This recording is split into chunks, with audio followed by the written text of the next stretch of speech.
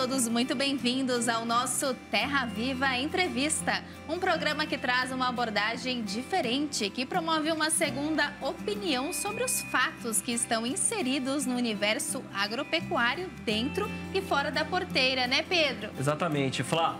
E hoje a gente destaca a pujante pecuária do Mato Grosso. O estado possui 31,5 milhões de cabeças de gado e se mantém como líder nacional no rebanho bovino e também na produção de carne sustentável. E claro que a gente recebe aqui no estúdio um amigo nosso, parceiro, para falar desse importante momento do setor, o diretor técnico da Acrimate, Chico Manzi. Chico, prazer recebê-lo aqui. Muito bem-vindo. Prazer, Flávia. Prazer, Pedro. Sempre um grande prazer estar aqui. Obrigado, né, em nome da Acrimate aí, pelo sempre o espaço cedido pelo Terra Viva. Prazer é nosso te receber aqui. Sempre, né? Associação dos Criadores de Mato Grosso, presente né? não só na história da pecuária, mas também no nosso canal, no nosso Terra Viva e, claro, na história né, da produção brasileira. Porque a gente já começa abrindo o programa, Chico, falando sobre a alteração nos dispositivos da legislação ambiental estadual que permitiu a prática da pecuária extensiva, ou seja, pasto, em áreas alagadas na reserva legal com pastagem nativa na planície do Pantanal. É uma boa notícia, né? Como é que chegou nesse avanço? Como é que foi esse diálogo? Chega num bom momento também, né? Eu acho que muito mais, muito mais do que um avanço, isso é um resgate, né? Porque a pecuária do Pantanal, ela é só você olhar as músicas aí antigas, as sertanejas raízes, que você vê lá os, os bois pantaneiros, né? Então estava lá na voz de Tonique Tinoco, de Tião Carreiro e Pardinho, trazendo aquelas comitivas de gado que saíam do Pantanal. Eram milhões de cabeças de gado que saíam do Pantanal para povoar o restante do Brasil. Tem histórias aí de gado que saía do Pantanal para ir para o Pará, para ir para Goiás. E o homem sempre esteve ali no Pantanal junto com o gado é, de uma forma absolutamente sustentável. É uma pecuária que tem 92% é, em propriedades privadas e com equilíbrio com a natureza. Com essa proibição, né, que ficou esse limbo quando começou o, o, o Código Florestal, aonde se restringiu o uso da pecuária no Pantanal e o pantaneiro foi praticamente expulso de lá economicamente. Então, isso nada mais é do que um resgate para que ele possa voltar a criar. E hoje a gente pode dizer, Pedro e Flávia, mas com toda tranquilidade, que a pecuária, sobretudo no Mato Grosso, Mato Grosso do Sul, que são os estados que compõem o Pantanal, ela praticamente não precisaria mais do Pantanal, mas o Pantanal precisa da pecuária. Você tirar o boi de lá, você não ter o boi lá, é o que fez com que acontecessem todos esses incêndios, toda essa a falta do ser humano, sobretudo o pantaneiro e a falta do gado, é que fizeram que, que o bioma ficasse desequilibrado. E agora nós celebramos, acho que é uma celebração não só dos pecuaristas, mas da pecuária como um todo e o bioma como um todo vai voltar a ser o Pantanal que a gente conhece. Exatamente, e a gente fala justamente sobre isso agora, né? Sobre o clima. Como que a Acrimate tem acompanhado as mudanças climáticas e as influências aí que tem tido no setor, né?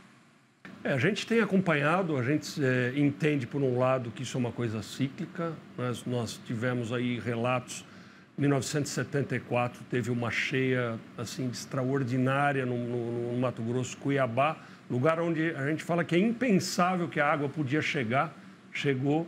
Em 1994 eu já estava lá há quatro anos, teve outra cheia enorme, né? E, e, tivemos relatos também de secas intensas. O pessoal conta que na década de 60 passava pelo rio, pelo rio Paraguai é, de, de caminhão. Olha dentro só. do rio ali molhando as rodas, né? Gente. A gente acredita que seja uma coisa cíclica, mas evidentemente que a gente tem que é, prestar atenção em tudo que acontece no mundo, se adaptar a, sempre às novas tecnologias, para que a gente continue aí nessa relação tão boa com a natureza. Importante você falar sobre isso, Chico, porque Mato Grosso tem três biomas: Cerrado, Pantanal e tem o bioma amazônico. É, a gente tem ali um, um, uma tarefa de produzir alimento ali sai a riqueza do nosso Brasil, né? A gente sabe que é, o, coração está pulsando muito ali, a gente vê o, como as cidades agropecuárias ali têm um índice de desenvolvimento muito importante. E, mas é importante também as pessoas entenderem isso, né? Como é que o, o, setor, né, de uma forma geral, lida com isso, uma vez que a gente tem regras cada vez mais é, complicadas, podemos dizer assim. Por quê? Né? Essa pequena introdução, porque a gente tem a lei europeia, né, que vai endurecer as regras para os exportadores. A gente teve esse uh, adiantamento agora, né, da implementação dessa regra, mas ela vai chegar. Como é que vai se implementar isso num lugar tão diverso como o Mato Grosso? O que a gente precisa é que o Brasil seja é, defendido sempre por brasileiros. As exigências internacionais é um direito do comprador. Eu sempre cito como exemplo, é, lá em Cuiabá, você conhece lá, tem a carne celeiro. Sim. Ele só compra novilhas. O direito dele, só comprar novilha. Então você pode produzir boi da melhor qualidade do mundo que você não vai vender para ele, assim se ela quiser. O que nós não podemos é ter uma exigência dentro do Brasil por brasileiros, porque a Europa quer comprar dessa maneira. Então, dá para atender o mercado europeu zero? Sim. Eu sempre brinco e falo o seguinte: isso aqui é a partir de quando? A partir de 1.500. Ah, não dá, né? Mas é, é, a partir de 2020 tem muitas propriedades com desmatamento zero. O que você não pode é exigir desmatamento zero de um país inteiro, né, com o maior produtor de carne do mundo, para atender um mercado específico. Isso é que a gente é, é isso que a gente não concorda. Sem dúvidas. E quais são as iniciativas que a Acrimate promove em prol do meio ambiente lá no Mato Grosso? Ah, nós temos é, é muito. Primeiro, assim, a, a, pecuária eh, brasileira, como vocês começaram aqui a entrevista, é uma pecuária absolutamente sustentável, sempre sobre os três pilares que são importantes, né? Que além do socialmente correto, né, é, o ambientalmente correto e socialmente justo, o economicamente viável sempre tem que vir à frente. E a gente sabe que muitos outros países a pecuária não é economicamente viável. E a gente consegue, então, unir esses três pilares, porque nós produzimos a maioria a pasto, o que, eh, os animais que estão sendo tratados hoje, tanto em confinamento e principalmente agora, com aquela terminação intensiva a ah, pasto, ah, recria intensiva a pasto, é altamente sustentável sobre vários aspectos, sobre o aspecto de, de, de produção e também sobre o aspecto de bem-estar. Né? Eu não sei se vocês já fizeram, certamente fizeram ou vão fazer é, entrevistas e, e, e, ali no campo com essas TIP, né, que sim, a gente sim. fala HIP. Você olha, é, é o bovino é, com altíssima produção dentro do habitat dele mesmo. Então, essas são algumas das ações que a Crimate, que a Crimate tem, que ela, é, ou melhor, que o pecuarista tem e que a Crimate defende e divulga. Perfeito. Chico, é, um ponto interessante também que a gente pode abordar é em relação à questão do, da, dessa retomada, né? Como é que foi o, o Vamos falar agora para o ponto de vista do pecuarista agora, né? Como é que foi para o confinador este ano? E também como é que é a expectativa agora para a estação das águas, visto que nós tivemos aí um clima tão seco. Na verdade, cada vez mais, né? A seca, a estiagem vem desafiando o pecuarista. Né? É, bom, agora a gente começa a respirar um pouco mais aliviado, não é nem este ano, né? É a, é partir praticamente do meio do, do, do, segundo semestre que realmente teve essa, essas reações. Isso era esperado, a gente já falou várias vezes sobre ciclo pecuário, né? Vocês já divulgaram tão bem aqui sobre o ciclo pecuário, a gente entende que assim como o clima, a pecuária ela também é cíclica. Nós tivemos aí um, um abate muito grande de fêmeas, recordes atrás de recordes, e isso ia ter uma consequência que é o que está acontecendo agora. Né? Está havendo uma falta de, de, de bezerros, com isso as vacas deixam de ir para o frigorífico e o preço tende a subir. Para o confinador, as contas ainda são um pouco apertadas porque os custos de produção estão altos, a reposição já está um pouco mais valorizada, mas agora realmente a conta já está pelo menos fechando. Né? Ela é extremamente variável, varia de confinador para confinador, de propriedade para propriedade, mas é, a expectativa é uma expectativa boa. Perfeito. Agora, nesse momento, né, nós estamos olhando para uma safra que está atrasando um pouco a janela aí, né, de plantio de soja. O agricultor, né, ou quem pratica também né, a integração, vai pensar um pouco mais quando o milho vai entrar nessa jogada. Então, muita gente vai apelar para o algodão isso vai também diferenciar um pouco o cenário já para o ano que vem, né? É assim, é, é, a grande vantagem dos ruminantes é que eles se adaptam, né? A gente vai fazendo a mudança nas rações. Então, é, um, um, player extraordinário que entrou no mercado, que é o etanol de milho, né? Que permite que você produza etanol e, ao mesmo tempo, produza...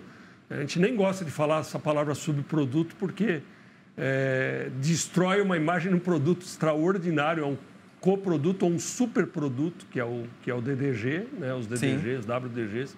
Isso vem, ajudado, vem ajudando muito na, na alimentação.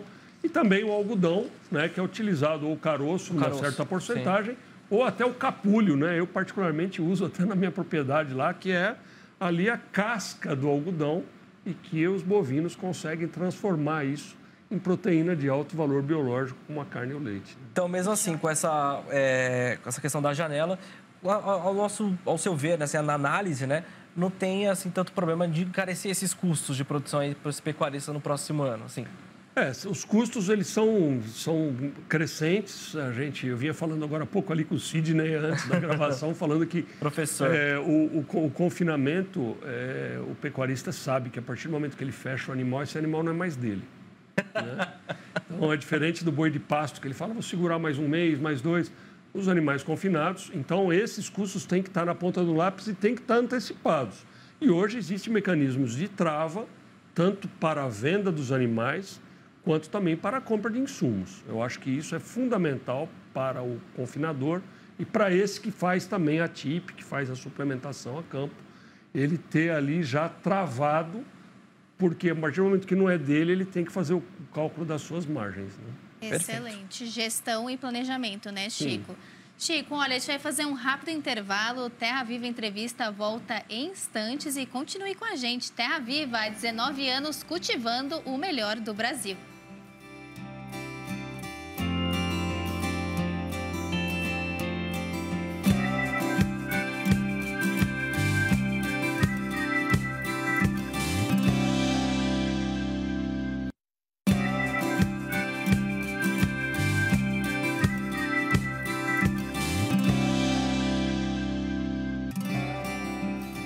Estamos de volta com Terra Viva Entrevista, hoje destacando a pujante pecuária do Mato Grosso. A gente recebe aqui no estúdio o diretor técnico da Acrimate, Chico Manzi, nosso amigo, parceiro, falando sobre não só as questões relacionadas à sustentabilidade, mas também o mercado, enfim, o momento que o setor vive em uma das regiões mais importantes do nosso Brasil, quando a gente fala sobre pecuária. Também a, agricultura, né? mas a pecuária, principal destaque do nosso programa de hoje. A gente abre o bloco então, Chico, falando um pouco mais sobre a valorização da arroba, né? Tão esperada, retomada. Você sente nessas andanças aí, né? Que eu sei que você tem uma playlist especial. Eu tive o prazer de viajar contigo na Crimate em Ação. A gente já vai falar sobre isso, mas nessas andanças aí pelo nosso Mato Grosso, o pecuarista está mais otimista? Como é que ele enxerga esse momento de retomada? Vem nesse alívio, como a gente está recebendo nas informações que vêm para a redação o pecuarista, é, como ele sabe que a atividade dele é de muito longo prazo, né? a atividade de gerações, não tem espaço para pessimista. Né? Mas é claro, é, nós vivemos aí nesse ciclo particularmente um, um desafio muito grande, de, sobretudo para os criadores, mas também para os recreadores invernistas das contas, mesmo daqueles mais profissionais, mesmo daqueles mais capitalizados, ou de, ou de perder ou de empatar. Né? A briga era por empatar ou perder pouco. Né? e agora, claro, né? o arroba um pouco mais valorizado, a gente sempre, sempre fala que nós não somos formadores de preço. O pecuarista ele é um tomador de preço. Ele vai nas lojas, pergunta quanto custa o sal, vacina, o vermífugo. Na hora de vender, ele liga para a indústria e fala quanto você paga. Né? Ele não é ele que define. E, e por isso ele tem que está cada vez mais profissional e com os custos de produção cada vez mais é, adequados. Então, quando às vezes as pessoas perguntam, mas quando que a carne vai cair o preço? O importante é que a gente tenha um aumento de renda. Né? As exportações são importantes, mas 70% fica no mercado interno. Agora nós estamos com preços mais equilibrados, um pouco mais otimistas, um pouco mais animados e o mais importante é que a gente tenha, assim como as exportações de alta, um consumo interno mais alto, com renda, com emprego, né, recuperando os empregos e tudo mais, para que a gente possa continuar fornecendo. Né? A gente sempre fala, você, é, a nossa parte a gente faz. Não tem supermercado que você não encontra carne, né? Exatamente. Não tem açougue que não tem carne. E se você Verdade. Cair a ponto de não fechar a conta para o pecuarista, a gente vai ter um desabastecimento que não é o que a gente quer. Equilíbrio. certeza. Equilíbrio, isso que é importante. E a pecuária de Mato Grosso, a pecuária brasileira, está dentro dos padrões do mercado internacional?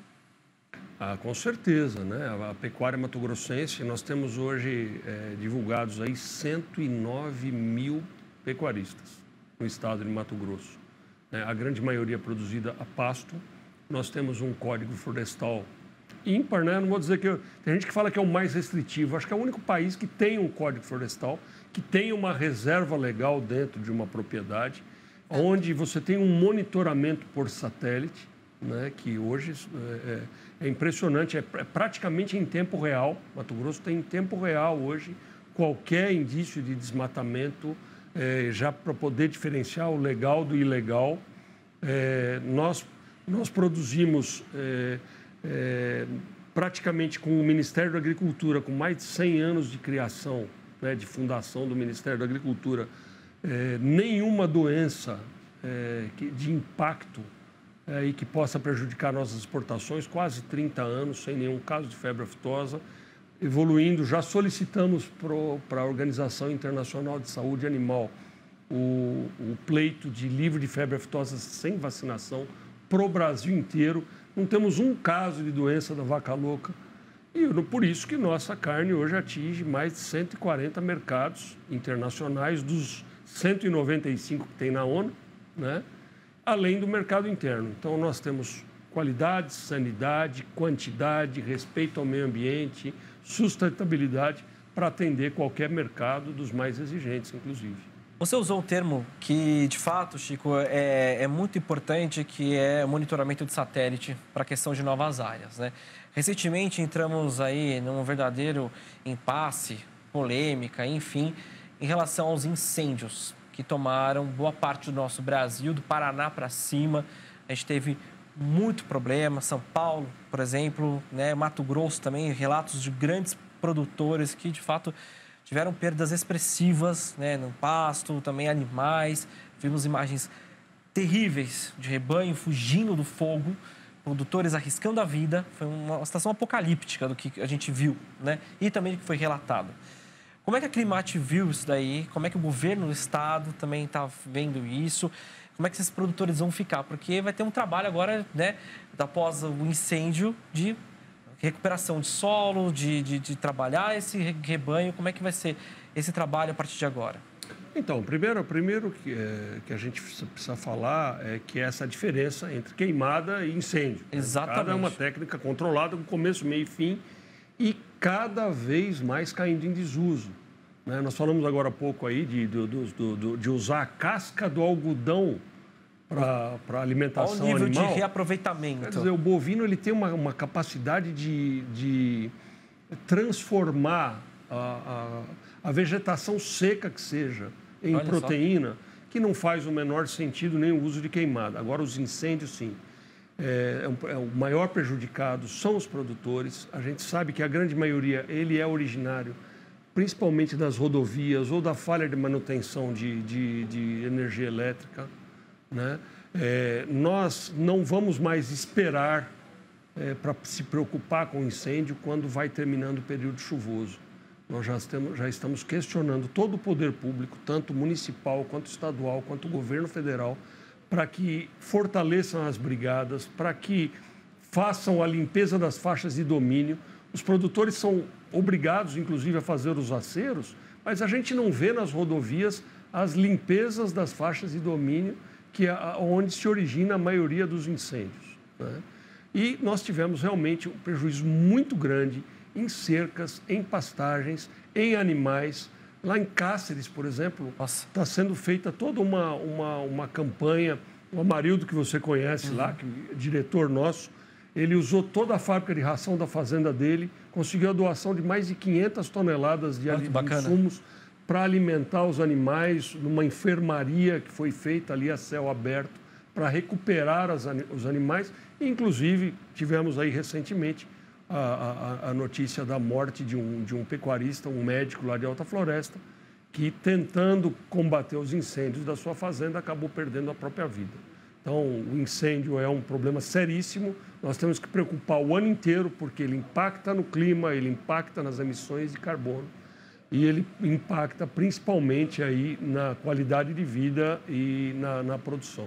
Sim. Eu gostaria de aproveitar só mais uma questão, Chico, é, sobre a questão da rastreabilidade. Na Cricorte, a gente sempre falou muito sobre isso. Como é que está na questão da rastreabilidade, desde o bezerro, que já era um impasse, mas já estava caminhando a passos largos para isso ser é, mais trabalhado, né, da questão principalmente focada nessas exigências, já que a gente está falando tanto sobre é, fiscalização, sobre monitoramento, me veio agora essa questão da rastreabilidade. Então, a rastreabilidade, assim, o rebanho brasileiro ele já é rastreado. Você não consegue transportar nenhum animal sem a guia de trânsito. Sim. Então, um bezerro para sair da, da, propriedade, sob pena de multa, saiu da propriedade, ainda que a pé, tocado, ele precisa da guia de trânsito. Então, rastreado, o nosso rebanho já é. Agora, o que está se exigindo é a identificação individual dos animais. Nós fizemos um longo trabalho em parceria, principalmente com a CNA, certo. É, onde se, se chegou à conclusão e que a gente vai ter esse prazo aí de oito anos para que a gente identifique todo o nosso rebanho individualmente.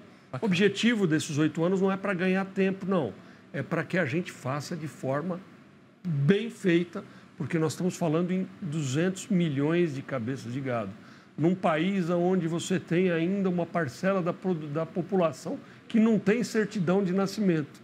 Então, é uma, é uma exigência muito grande você exigir isso dos bovinos.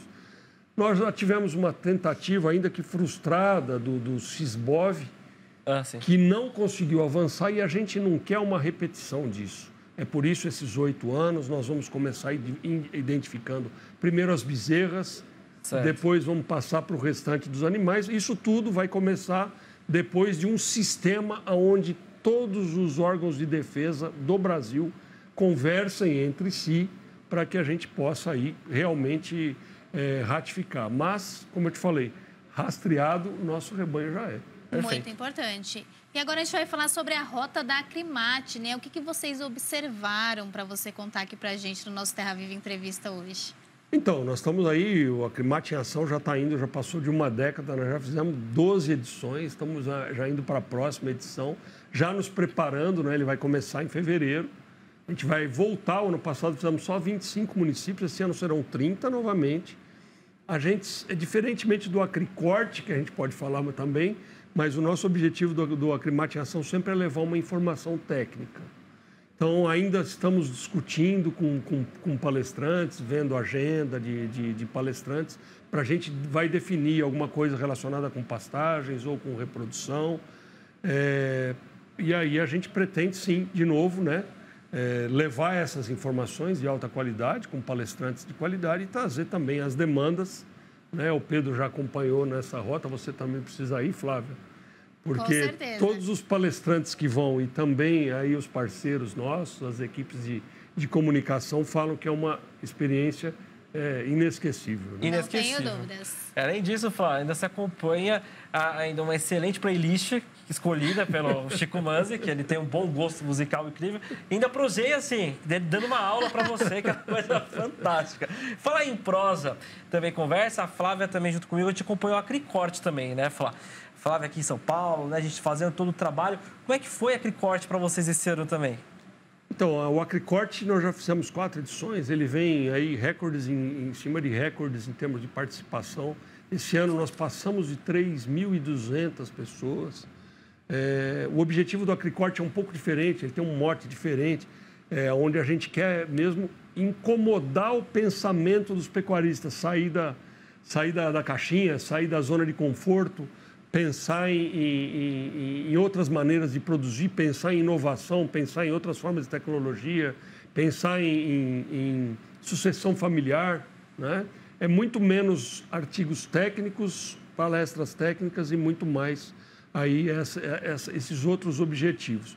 Foi muito bom, né? Os, nós tivemos aí vários parceiros, mais de 60 esse ano, patrocinadores que fizeram grandes negócios, um volume grande de negócios, e ele já se tornou, acho que o evento, é, o maior evento é, do Brasil em termos de, de reunião de produtores, né?